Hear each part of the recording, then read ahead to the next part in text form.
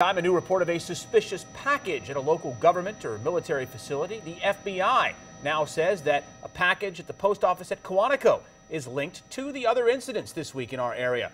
Investigators say Thanh Cong Phan mailed out at least 10 packages to local facilities. He was arrested in his Seattle area home earlier this week. Phan is charged with mailing an explosive device. Here's a live